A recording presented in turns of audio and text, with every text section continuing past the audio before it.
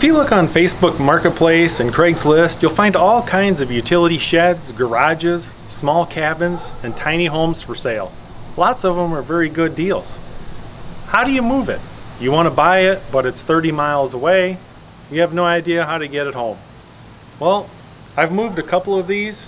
This particular one is a 12 by 16. I'm going to give you a couple tips and tricks that I've learned on how to move these sheds.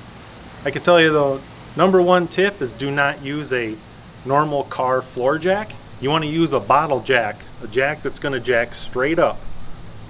My second best tip, in order to move these, depending on what state you're in, you may have a height limit on how to go down the road. Get a four-place snowmobile trailer. Hopefully you can borrow one from someone or maybe a local rental company has one.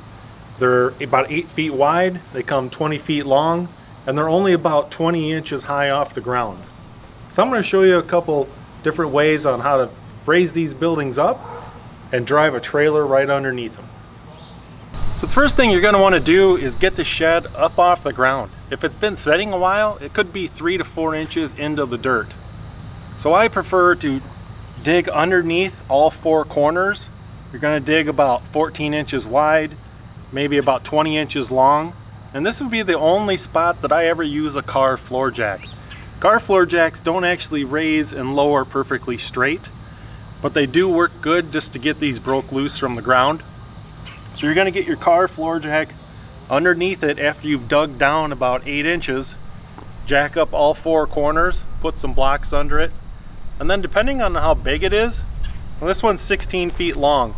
Any longer than that, then I would jack up with two jacks. But this one I can actually jack in the center.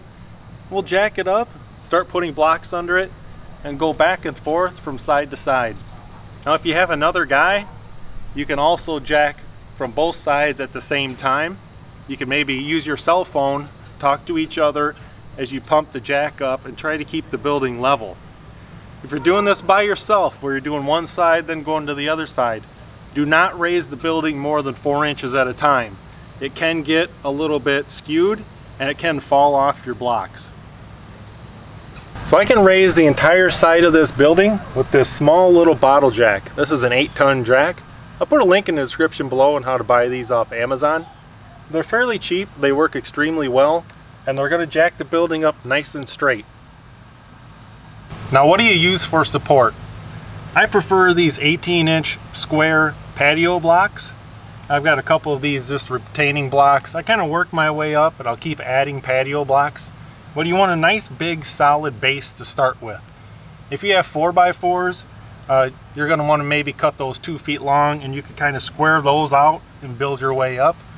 But these big solid patio blocks work the best for me. So as you can see, after about two and a half hours, I have the building about 26 inches off the ground. I'm gonna go walk up next to it so you can take a look at my knees and then you can see kind of the height difference. I'm six foot four, so you should be able to tell as I walk up next to it.